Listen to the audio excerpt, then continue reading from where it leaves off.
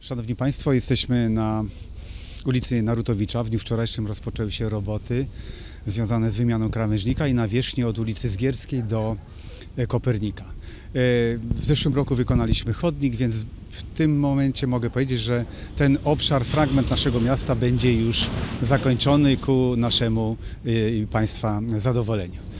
Rozpoczęliśmy również remont ulicy Bechcice od granic e, z Lutomierskiem do rozwidlenia w samych Bechcicach. Jest to odcinek ponad dwukilometrowy, e, długo oczekiwany, e, a poza tym jest to ważna inwestycja z uwagi na bezpieczeństwo, gdyż przy zdarzeniach drogowych, które mogą zaistnieć na drodze wojewódzkiej od Klonowej do Lutomierska, nigdy nie było żadnego objazdu, prawda? I tutaj e, remontując i budując drogę w Bechcicach e, mamy taką możliwość.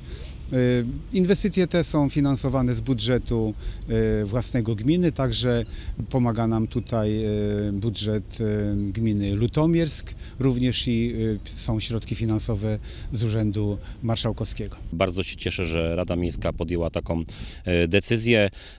W sumie inwestycja będzie kosztowała 707 tysięcy, zostanie zrealizowana i rozliczona do 15 października.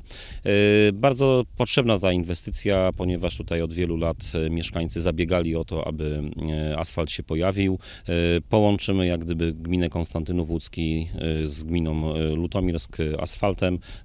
Bardzo dobra informacja myślę dla mieszkańców Bechcic i całego Konstantynowa Łódzkiego. Pragnę również zaznaczyć, że w poniedziałek rozpoczynamy budowę chodnika w ulicy mm, Daszyńskiego od Narutowicza do Sadowej po stronie wschodniej i ulicy, chodnik na ulicy Łabędowicza, zachodnia strona od e, Słowackiego do, e, do Łódzkiej.